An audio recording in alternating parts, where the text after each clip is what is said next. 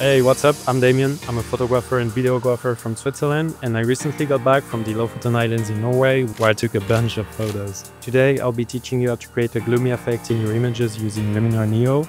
We'll go through a few powerful tools I use all the time to build atmosphere, guide the light, and shift the overall tone of a photo. And in this video, I'll edit one of my favorite pictures from the trip, taken above a beautiful valley with a few lakes. So that being said, let's jump directly in the edit tab.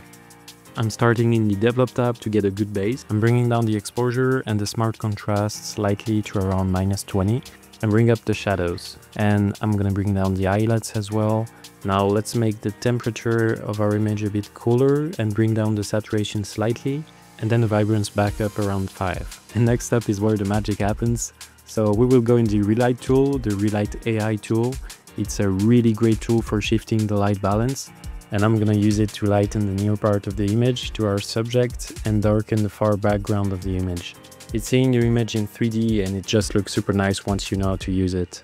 So then I'm gonna adjust the depth slider of our image to really control which part of the image we are affecting with the brightness near and brightness far sliders. Alright, looks great. Now one of the most important part, the masking. So let's go back in develop tab, create a linear gradient on the bottom part of the image and we will simply lower the exposure, add some contrast and lower the shadows to really bring more attention towards our subject, the center of the image.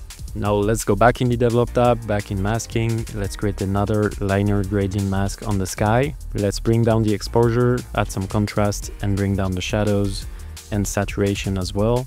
And this is the before after and just like that we have a nice dramatic look in the sky, perfect for our gloomy effect. So let's go back in develop tab, again create another mask, this time on the part of the image where the sun hits. And let's bring up the exposure, bring down the smart contrast and slightly the whites as well. Now back again, back in masking, another mask in the same place but this time bigger. And again bring the exposure back up. And this is before after.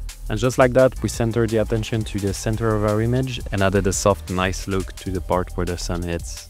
So now let's go in the Atmosphere AI tool, a really great tool to add mist or foggy vibes to your image, and it will really help us get a softer look for the gloomy effect. So here let's create a mask on the part of the image where the sun hits, and let's select my personal favorite, fog.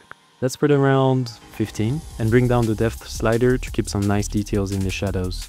Great, so finally let's go in the color harmony tab another super powerful tool. So let's create a mask on the center of our image to affect the part where we want to draw attention to. And I'm gonna bring some colors back into that area using the brilliance slider and then use the color contrast slider by selecting a color hue shift the tone slightly away from orange and give the image a more balanced, desaturated feel. Awesome, so now let's balance the tone using a tone curve light tool built into Luminar. So we'll bring some color tones into that same part of the image so let's do that in the shadows, highlights and midtones. Then let's go back in the color harmony tab and create another mask, this time only affecting the sky. And I'm gonna bring the brilliance down quite a bit, around minus 50 to desaturate the colors in the sky and give it a more moody, muted look. Let's go in the color tab to nail our desaturated tones. So let's open HSL and go into the Hue tab first. Then we're gonna bring down slightly the yellows and oranges to have a more reddish look and bring down the blue and cyan colors towards a more teal color. Now let's open up saturation and simply lower the oranges, yellows and blues. We can bring up slightly the cyan color because it's the color of the lake, so it's nice to bring back some colors here.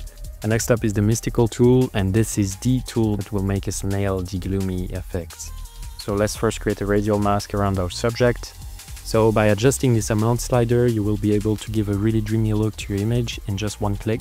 And we will put around 45 looks good. Now let's bring down the shadows slightly to keep some details in the mountain. And as you can see, we get a really nice glowy look in the highlights of our image, and this is already looking pretty good. So let's go back in the mystical tool, and this time we will affect the entire image, just to really nail this effect. And that's it. Now to finish things off, I like to add a small vignetting to our image. So what vignetting does is it lightens or darkens the edges of your image. So here we will darken them slightly. Let's go around minus 41 looks great. This is before after.